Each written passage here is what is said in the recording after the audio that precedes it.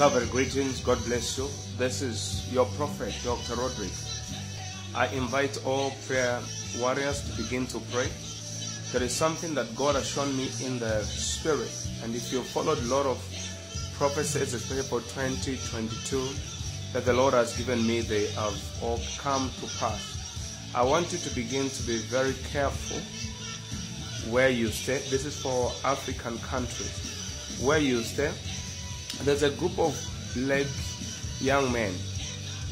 They will be killing people, murdering people so bad.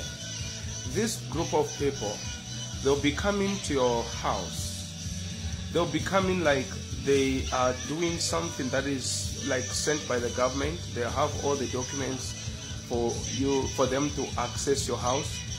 Then once you are having a meeting, interviewing you, writing down the papers, they'll just take guns and shoot people in the house.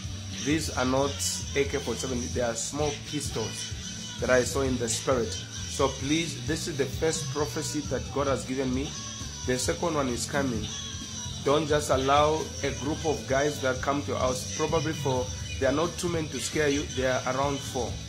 I don't know if it's a group of Boko Haram or whatever, but you need to be very, very careful whom you will come in your house. This is your prophet, Dr. Rodrick. God bless you. This is not just for Nigeria.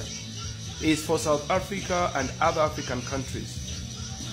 In the book of Amos, chapter 3, verse 7, the Bible says, Surely the Lord does nothing except by revealing his plans to the servants the prophets. Take this word as a warning and don't just allow people. Soon you shall hear on the news.